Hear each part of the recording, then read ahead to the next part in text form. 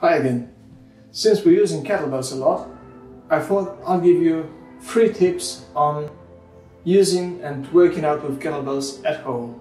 Number one, one kettlebell is usually enough. Try to stick to exercises and routines that involve only one kettlebell at a time. Having the weight distributed unevenly throughout the body, for example, holding it in one hand, not in both at the same time, helps utilize stabilization muscles and is also practical to own just one weight.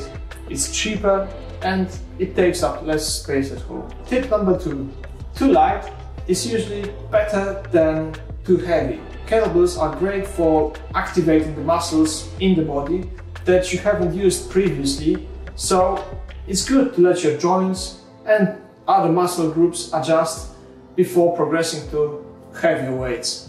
Number three, rubber coated or iron cast kettlebell. A coated kettlebell usually makes more sense when you try to set it down directly on the floor, whether that's in your apartment or in your dome. However, due to the coating, they usually have a slightly thicker grip, which makes some of the exercises or most of them more challenging. Also, please watch out where the coating is joined. In case of mine, it's right here on the handle, which may cause more than necessary blisters. My suggestion therefore is to use a cast iron kettlebell and if you don't have a soft floor, just put anything on top of your own floor to protect it.